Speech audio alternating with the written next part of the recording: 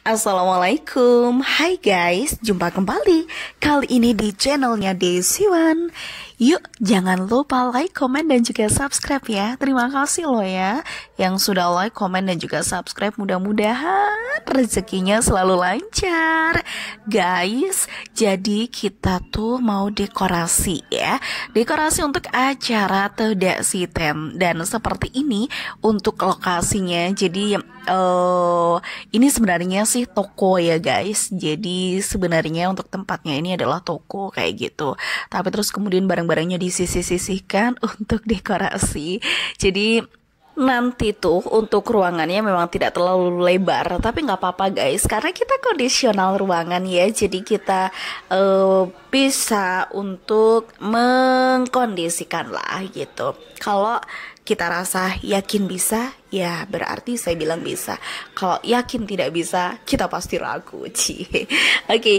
nah dan nanti untuk dekorasinya itu nuansa balonnya putih kombinasi gold ya. Goldnya ini kita pakai yang jenis chrome, jadi yang mengkilap. Kalau putihnya ini kita pakai yang doff ya, yang ngedoff kayak gitu guys.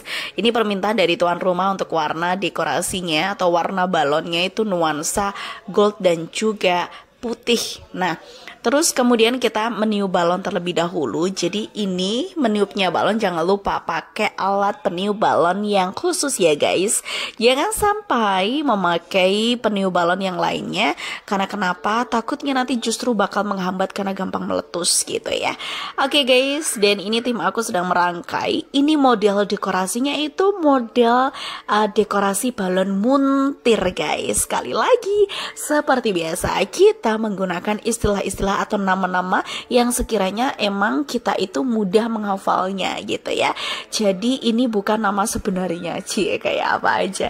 Dalam artian ini kita sendiri loh ya versi kita yang menamai. Teman-teman mungkin punya versi sendiri atau nama lain juga boleh gitu ya. Oke, suami aku itu sedang merangkai untuk slayernya. Slayer atau kainnya juga memakai uh, slayer putih dan juga gold ya. Itu dipasang di tiang penyangga besi guys. Jadi kita nggak langsung nempel di dinding kayak gitu ya.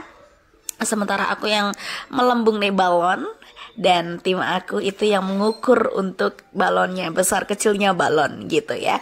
Oke nah dan juga nanti setelah itu merangkai. Jadi memang kita punya apa ya istilahnya kayak job di sendiri-sendiri cie jadi kita uh, punya ini sendiri-sendiri ya. Pekerjaan sendiri-sendiri waktu dekorasi tapi kalau misalnya udah selesai ya nanti bolehlah bantu. Kan kita satu tim gitu kan.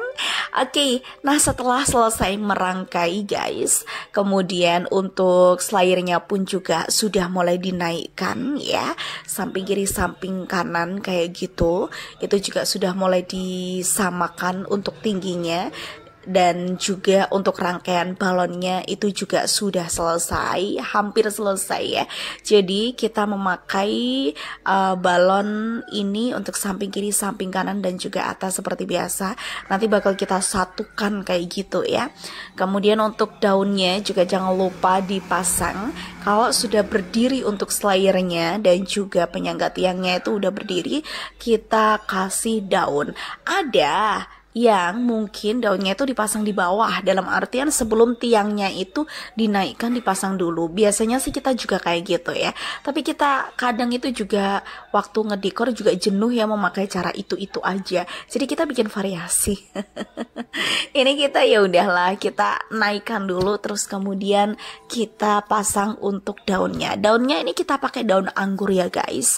Jadi ditata dari samping kiri dan juga samping kanan. Jangan sampai ada celah celah yang masih terlihat dan tidak tertutup oleh daun anggurnya. Daun anggur kita memakai daun anggur warna hijau guys, biar kelihatan seger kayak gitu. Karena daun anggur nanti juga bakal ada warna-warna yang lain ya. Ada gold ada pink ada putih semuanya ada ya. Ini suami aku sedang mempersiapkan untuk tali-talinya. Seperti biasa kita memakai tali raffia atau rumput Jepang ya itu sangkarnya juga sudah kita tata guys. Sudah kita hias ya. Juga pakai nuansa balon gold dan juga putih ya. Terus kemudian ini uh, tim aku lagi mencari untuk balon air. Balon air ini adalah air yang dimasukkan ke balon. Ini fungsinya untuk pemberat balon ya. Jadi ketika kita merangkai balon atau membuat balon tiang, itu untuk pemberatnya kita memakai itu. Karena kita tidak memakai penyangga di tengah-tengah balonnya gitu ya, untuk balon tiangnya. Karena kenapa? Biar balonnya bisa jadi hak milik tuan rumah. Kalau kita pakai penyangga, itu yang pertama kita modal lagi.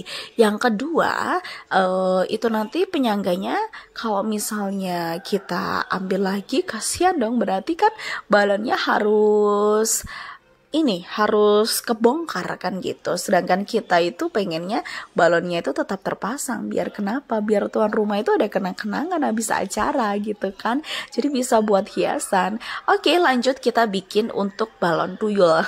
kenapa kita namakan balon tuyul? Karena balonnya itu kecil guys, pendek, cuma tiga lapisan atau tiga tingkatan aja.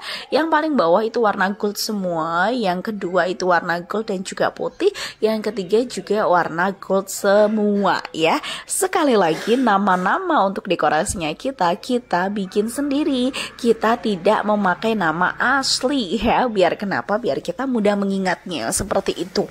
Oke, terus kemudian sudah jadi untuk balon kecil atau balon tuyulnya.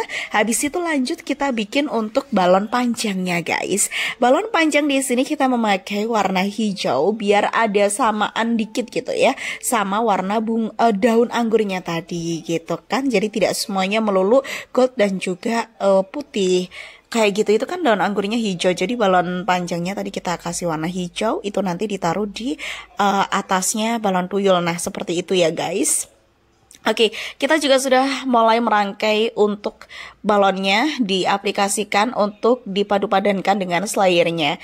Jadi seperti ini guys, balon samping kiri samping kanan atau balon tiang kiri dan juga tiang kanan kemudian disatukan dengan balon yang bagian atas ya. Seperti ini. Nah teman-teman ada juga ya pendekor lainnya yang memakai cara semuanya dirangkai dulu panjang gitu. Kemudian terus diaplikasikan uh, ke slayernya. Kalau kita enggak kalau kita memakai cara tiga bagian yaitu samping kiri, samping kanan dan juga atas kemudian disatukan ya. Dan untuk temanya dikasih tambahan karakter kuda poni guys sesuai permintaan. Itu tadi ya guys, jangan lupa bersyukur dan bahagia. Semoga bermanfaat. Terima kasih like, komen dan juga subscribe ya. Wassalamualaikum. Bye bye.